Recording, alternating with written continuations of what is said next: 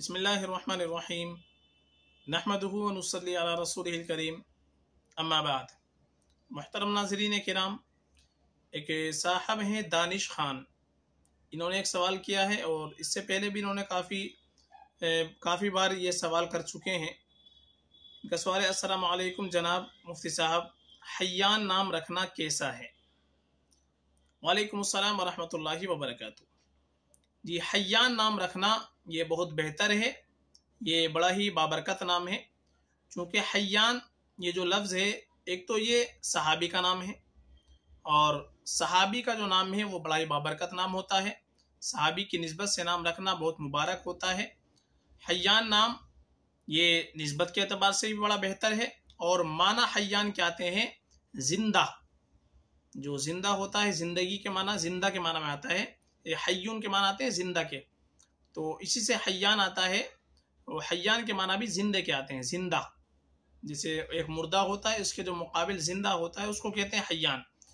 लेकिन चूँकि नस्बत इसकी सहाबा से है, सहाबी की नस्बत में हमको, सहाबी का अगर नाम रखना हो तो उसमें माना जानने की हमको ज़रूरत नहीं होनी चाहिए। सहाबी की नस्बत हमारे लिए नाम रखने के लिए उनकी नस्बत काफ़ी होती है।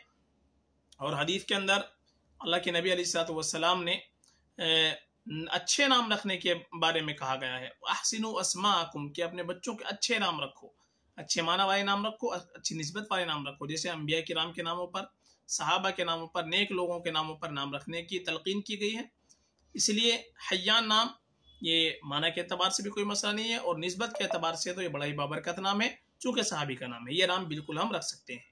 एक साहब हैं, डेली क्राफ्ट ये एक आईडी है इन्होंने सवाल किया है, मुफ्ती साहब, मारिब के मीनिंग क्या है? बेटी का ये नाम रख सकते हैं।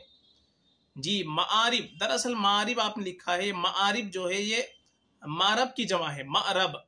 मारब उनके मान आते हैं हाजत, ज़रूरत। और इसी की जमा आती है मारिब। तो मारिब के मान आते हैं बहुत सी हाजतें, बहुत सी ज़रूरतें।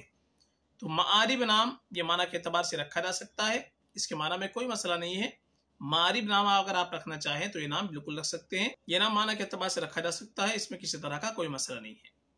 फ़कत वल्लाम